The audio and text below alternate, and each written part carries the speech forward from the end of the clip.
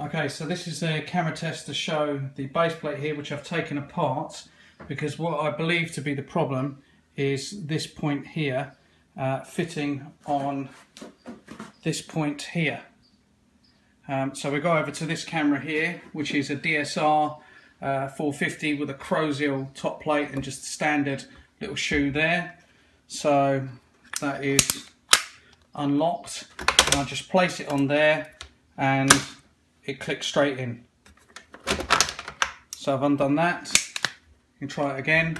Just sitting on there like that and then push it back just a little bit. Click straight in with the click. Now if we move over to here, we've got the Black Magic. We put this on here and it will not go in.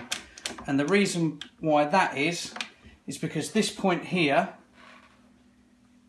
is too low for this point here. So one of the reasons why I've, uh, sorry it's a bit dark, one of the reasons why I have taken this apart is to see if I can modify this. As I said, this was on two uh, base plates, two exactly the same base plates, did exactly the same thing, VCT U14s. Um, and as I'll show you one second, I'll show you in the next clip where I'll take this bit off and it will show that this piece will click in straight away.